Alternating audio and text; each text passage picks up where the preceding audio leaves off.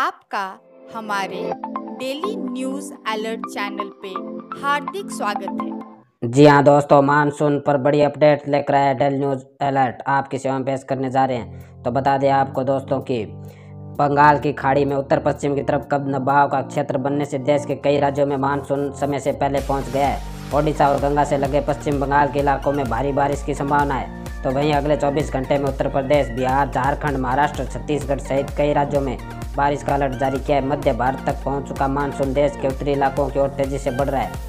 इससे अगले दो दिनों में पूरे उत्तरी भारत में आने की संभावना है। तो मौसम विभाग के अनुसार उत्तर भारत में मानसून इस बार पंद्रह दिन पहले पहुँच रहा है। मौसम विभाग की माने तो अनुकूल मौसमी परिस्थितियों की वजह से दक्षिणी पश्चिमी मानसून के अगले चार से पाँच दिन में दक्षिणी राजस्थान और गुजरात के कच्छ क्षेत्र को छोड़कर पूरे देश में छाने की उम्मीद है। मौसम वैज्ञानिकों ने अनुमान लगाया कि इस साल पूरे देश में जून से सितंबर तक दक्षिणी पश्चिम मानसून से सामान्य बारिश की संभावना है। तो मैं बता दें आपको कि उत्तर प्रदेश में मौसम करवट ले रहा है और राज्य के अधिकतर जिलों में प्री मानसून जारी है। तो मौसम विभाग के अनुसार उत्तर प्रदेश के अधिकतर इलाकों में हल्की से मध्यम बारिश हो रही है और वहीं मौसम विभाग ने घोषणा कर दी है कि यूपी की सीमा में सोमवार 14 जून को किसी भी समय मानसून प्रवेश कर जाएगा। प्रदेश के वो ज़िले जिनकी सीमा बिहार से लगती है, वे बारिश से तरबतर हो जाएँगे।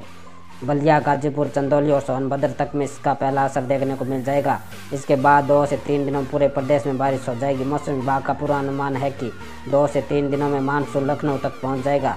लखनऊ स्थित मौसम विभाग के मुताबिक मानसून की चाल सामान्य है और रविवार को पूर्वांचल के कई जिलों में इसकी वजह से बारिश हो सकती है। तो वहीं आपको बता दें कि बिहार के कुछ हिस्सों में झमाझम बारिश है। तो बिहार के कुछ भागों में रविवार से ही मानसून के पहुँचने का अनुमान जताया गया है। कुछ इलाकों में बारिश शुरू भी हो गई है। बिहार के कई जिलों में तेज़ बारिश हो रही है। मौसम विभाग ने अगले तीन दिन यानी पंद्रह जून तक जोरदार बारिश का पूर्वानुमान जताया है। तो बता दें आपको कि मानसून की एंट्री से पहले ही बिहार के अलग अलग इलाकों में मध्यम से भारी बारिश दर्ज की गई है। मौसम विभाग ने सोमवार को तीन दिनों के लिए येलो अलर्ट जारी किया है। तो गुजरात, मध्य प्रदेश और पूरे छत्तीसगढ़, ओडिशा, पश्चिम बंगाल और झारखंड के कुछ और हिस्सों में मानसून के आगे बढ़ने के लिए हालात बेहद बेहतर से बहुत बेहतर होते जा रहे हैं। तो वहीं बता दें कि महाराष्ट्र के इन जिलों में रेड अलर्ट जारी किया है तो मुंबई में दक्षिण पश्चिम मानसून की दस्तक के बाद से लगातार बारिश का सिलसिला जारी है। मौसम विज्ञान विभाग ने महाराष्ट्र के रत्नागिरी और रायगढ़ जिलों में तेरह जून के लिए और चौदह जून के लिए भारी बारिश का रेड अलर्ट जारी किया था। मौसम विभाग ने कहा कि मुंबई और पड़ोसी थाने में कुछ जगहों पर भारी बारिश हो सकती है।